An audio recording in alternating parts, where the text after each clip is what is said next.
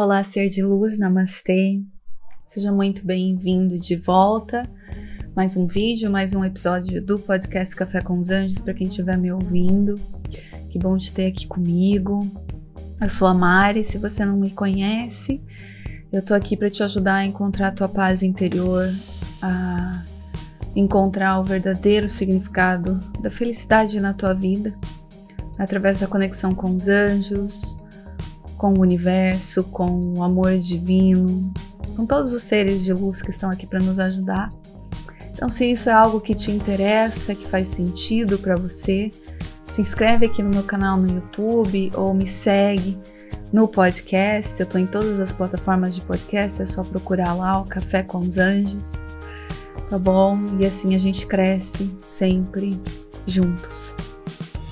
Na verdade, eu tô passando aqui para gravar esse episódio, ele não estava planejado.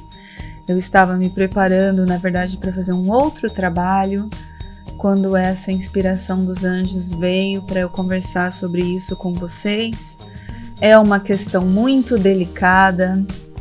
Eu nem sei se vou colocar esse episódio no ar ou não, mas eu preciso gravá-lo é, é uma questão muito complicada de ser falada, as pessoas até evitam falar sobre isso, mas olha, isso está muito forte nesse momento dentro de mim e eu preciso falar sobre esse assunto porque os anjos começaram a conversar comigo sobre isso e eu falei para eles: espera, deixa eu gravar o podcast porque eu preciso compartilhar o que vocês estão me dizendo. O que nós vamos falar hoje é sobre as diferenças, as escolhas sexuais das pessoas, né? A diferença de gênero e o quanto o mundo cultiva tanto ódio, ódio que é provavelmente das energias é das energias mais pesadas mais negras, mais escuras, mais realmente do mal que existe nesse planeta. As pessoas dizem que seguem a Deus, mas cultivam tanto ódio no coração. Tem uma contradição tão grande perante o amor e o ódio, onde as pessoas dizem que são amor, mas não conseguem ver que elas estão cultivando e propagando esse ódio pelo próximo, simplesmente porque elas não aceitam a si mesmas. Quando a gente julga o próximo pelas suas escolhas, isso é um reflexo de toda a escuridão que tem dentro de nós. E uma das coisas que é tão importante a gente entender é a aceitação. Que diferença faz na minha vida, na tua vida, a escolha do próximo? Se ele gosta de homem de mulher, se ele gosta do que for, se ele gosta dos dois. Se ele é um homem que quer se vestir como uma mulher, se, ele é, se é uma mulher que quer se vestir como um homem, de que forma isso muda a minha vida? A tua, por que, que a gente não pode aceitar aquilo que faz o próximo feliz, seja qual for a escolha dele? É tanto ataque, eu vejo tanto ataque, eu vejo tanta injustiça com essas pessoas que decidem não seguir um padrão que nós mesmos criamos. Tanto ódio, e as pessoas dizem que querem um mundo de harmonia, de paz, de amor, e não conseguem aceitar as escolhas de cada pessoa. E se, desde o início dos tempos, quem usasse maquiagem eram os homens? Quem usasse cabelo comprido, arrumado eram os homens. Quem usava cabelo curto era a mulher. E se quem usasse saia desde o início dos tempos, fosse sempre os homens, como seria? Como seria? Isso são simplesmente padrões que foram criados pela sociedade.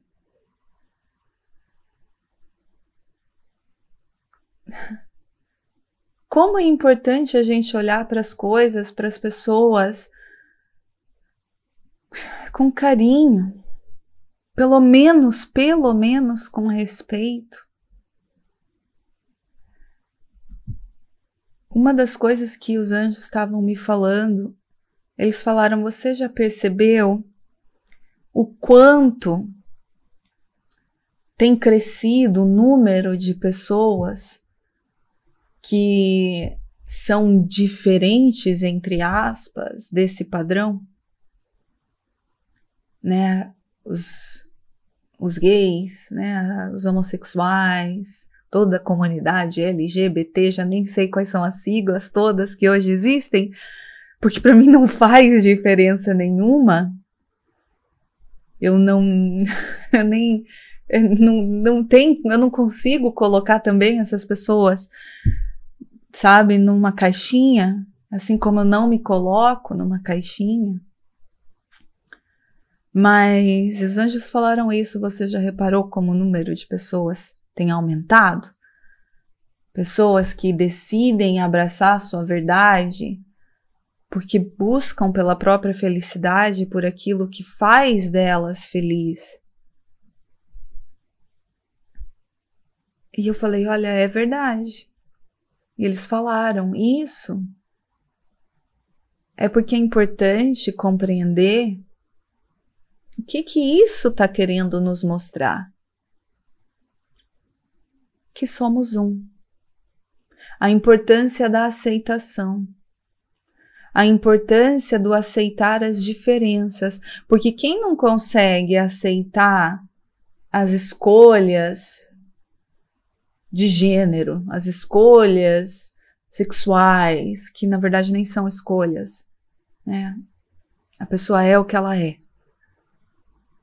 Você gosta de homem porque você gosta de homem, você não escolheu. Você gosta de mulher porque você gosta de mulher, você não escolheu. Mas isso é para nos mostrar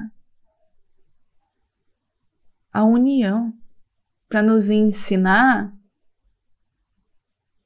a respeitar, a aceitar a olhar com olhos de amor, de compaixão, a ver no próximo a si mesmo, amar ao próximo como a si mesmo, indiferente de quem ele seja, do que ele faça. Como é difícil ser humano aprender o amor, aprender a empatia, e como é fácil o ego tomar conta do ser, propagar a raiva e o ódio. E isso, na verdade, se você parar para analisar, isso engloba muitas outras áreas da vida. As religiões, inclusive o racismo, não é? A diferença na cor, na pele, a diferença nos países, as pessoas não aceitarem pessoas de outros países, criticam e criticam tudo que o Hitler fez, que foi um horror, mas não aceitam pessoas de outros países, de outras nacionalidades, vivendo no seu próprio país. Qual é a diferença entre você? Só porque o Hitler mandou matar? E o ódio que você cultiva? e as tuas palavras. No outro dia, os anjos também me falaram isso. Muitas vezes, as pessoas são julgadas porque mataram, não é isso, é horrível, óbvio. Mas as pessoas não têm noção quantas vezes se mata alguém através da palavra. Se destrói um ser através da palavra. E como eu falei, eu vejo tanto isso. As pessoas preferem tanto cultivar esse ódio ao invés de cultivar o amor. Por quê? Porque elas precisam se sentir melhores? Porque elas precisam se sentir superiores? Porque o ego delas tem a necessidade de dizer que ela é que está certa? Tá na hora da gente. Tá na hora da gente escolher o amor em vez da raiva, em vez das diferenças. Não existem diferenças. As diferenças existem nos olhos daqueles que as querem ver. Não existe diferença de pele, de raça, de línguas, de homem, de mulher. Não existe. E enquanto a gente continuar num estado interno de tanta crítica e de tanto ódio, não espere que a tua vida também receberá bênçãos e luz e amor, porque você não tem capacidade de oferecer isso. Você, eu, digo as pessoas, não é? Não levem isso pro lado pessoal, tá? Mas é muito importante aprender com isso. Como os anjos falaram, por que você acha que esse número tem aumentado? Não é à toa. E as somente, eles me falaram isso inclusive, somente as almas mais fortes mais conscientes têm a capacidade tiveram a capacidade de escolher vir para a Terra, experienciar uma vida dessa forma, em que ela é, do início ao fim da vida dela, atacada pelo ódio do próximo. Você teria coragem? Você teria coragem de entrar numa vida, de entrar num lugar onde você sabe que todas as pessoas que estão naquele lugar te odeiam. Isso me dói na alma. E se eu pudesse, eu abraçava todas essas pessoas com todo o meu amor. Porque é preciso muita coragem, muita força e muita consciência para um ser decidir passar por esse tipo de vida na Terra. Mas tem um propósito. E olha o quanto é bonito isso. O propósito é ensinar o amor, é ensinar a aceitação, é ensinar a compaixão, é ensinar a empatia.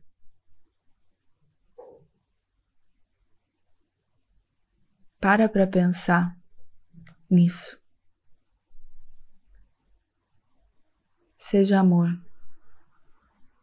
Olhe para o próximo como você olha para ti, para si mesmo. Somos um ser de luz.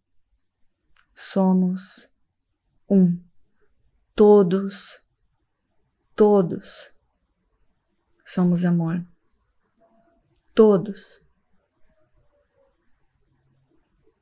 Todos merecemos o respeito, o amor, a compaixão, todos, da mesma forma que você quer que as pessoas olhem para você, reconheçam o teu valor.